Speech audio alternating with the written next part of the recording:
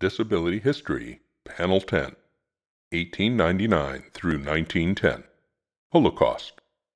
Persons with disabilities, over 200,000, are the first victims of the Holocaust.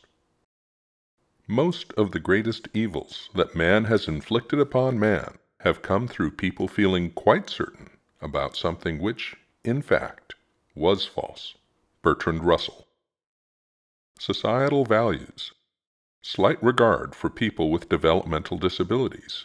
Concern with economic depression and war. Responses to disability.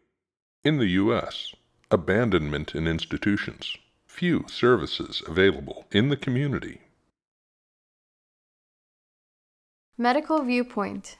Beginning in the 1930s, Nazi Germany targeted people with disabilities and the elderly as a drain on public resources. Medical viewpoint.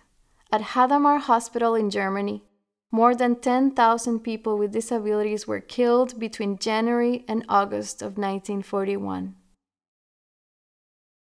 Medical viewpoint. The first killings were by starvation, then by lethal injection. Gas chambers soon became the preferred method of execution. After being gassed, the bodies were cremated. Medical viewpoint.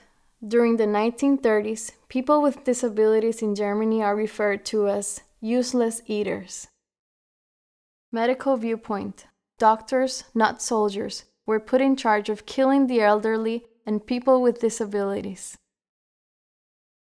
In Nazi Germany, a Catholic bishop, Clemens von Galen, delivered a sermon in Munster Cathedral attacking the Nazi euthanasia program, calling it plain murder.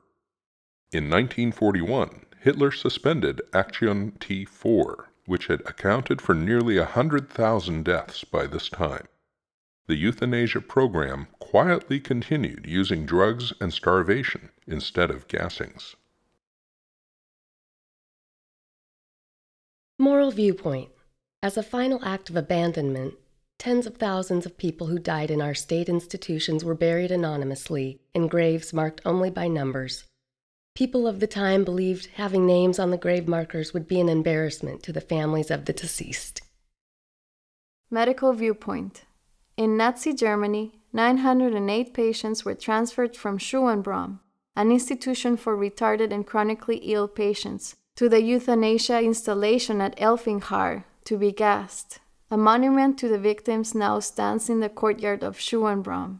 At the outbreak of World War II, Hitler ordered widespread mercy killing of the sick and disabled.